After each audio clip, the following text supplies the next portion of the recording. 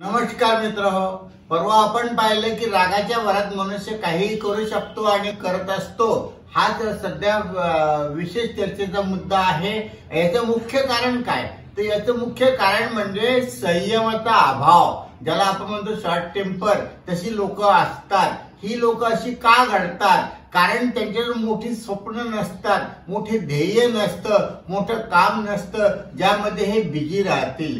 बघा तुम्ही आता जर अभ्यास केला मोठमोठ्या लोकांच्या चरित्राचा तर त्यापैकी कोणीही असं रागीट असं संतापी नव्हतं.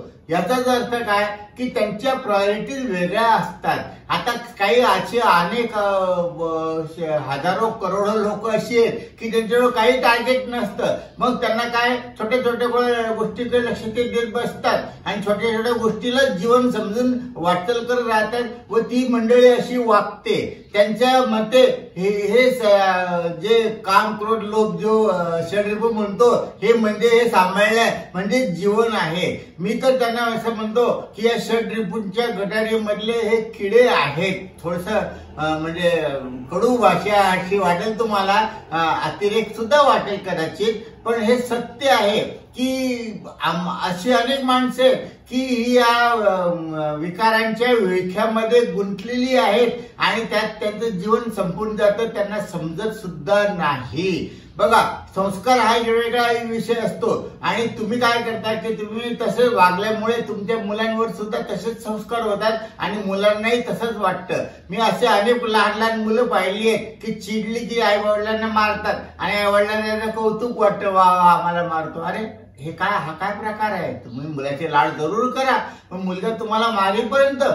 म्हणजे काय? त्याला समजत नाही. तो तसं वागतो आणि तुम्ही त्याचं कौतुक करता. मग त्याला असं वाटतं की हे बरोबरच आहे. मग तो तसाच घडत राहतो. पुष्कळ लोक तर असे म्हणतात की आम्हाला काहीच नको आम्हाला कोण नको? आमच्या मुलाचं काही झालं तर चालेल. पण आम्ही आमच्या आई वडिलांशी जवळ जाणार नाही. आणि आम्ही जर जेव्हा त्यांना सांगतो की अरे तुमच्या आई वडिलांच्या जवळ जर तुम्ही गेलात तुमची मुलांना जर त्यांचे लाड त्यांचं प्रेम त्यांचे आदर्श त्यांनी शिकवलं तर तुम्हाला तुमचा लोड पण कमी होईल आणि त्यांच्या नात्याचा प्रेम पण राहील. पण जर तर नाही आम्हाला ते नको. आमची मुलं आळली राहिली तर चालतील पण आम्ही त्यांना त्यांच्याकडे जाऊ देणार नाही. हा काय हट्ट आहे? म्हणजे स्वतःच्याच पायात कुराड माळून येण्याचा हा प्रकार नाही का? पण त्यांना त्याची जाणीव होत नाही. आणि जाणीव होते पन्नाशी नंतर. पण तोपर्यंत वेळ निघून गेलेली असते. तुमचे आईवडील निघून गेले असतात. तुमच्या हातातली ताकद संपलेली असते. आणि हातातली ताकद शरीरातली ताकद संपल्यानंतरच तुम्हाला जाणीव होत असते. हे तुमचं दुर्दैव आहे. म्हणून म्हणतो मित्र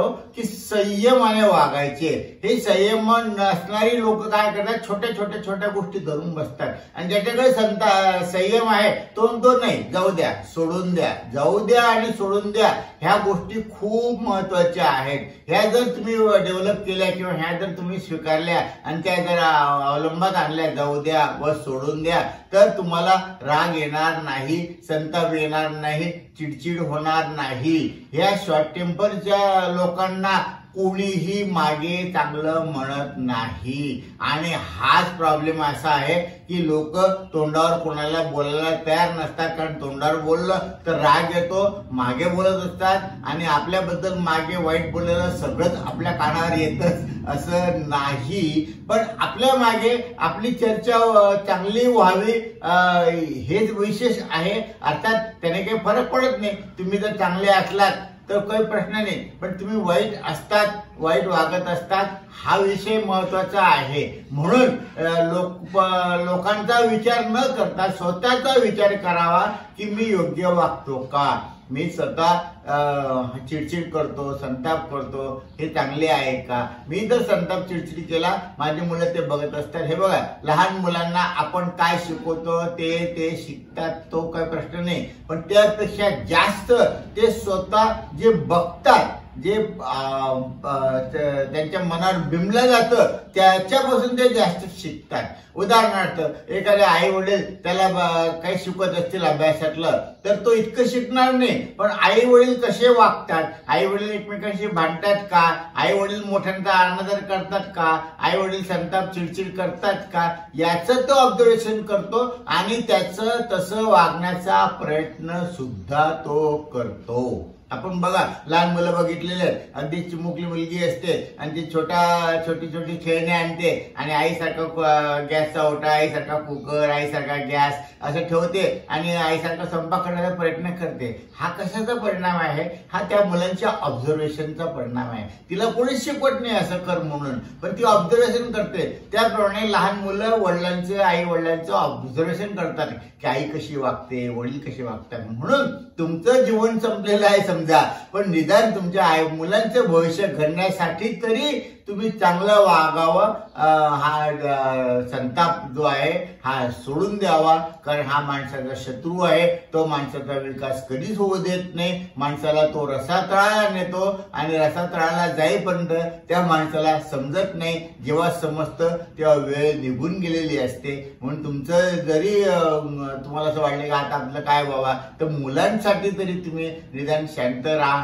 संयम पाळा प्रेमाने राहा आणि सुखी व्हा हाच संदेश मी तुम्हाला या ठिकाणी देऊ इच्छितो. धन्यवाद.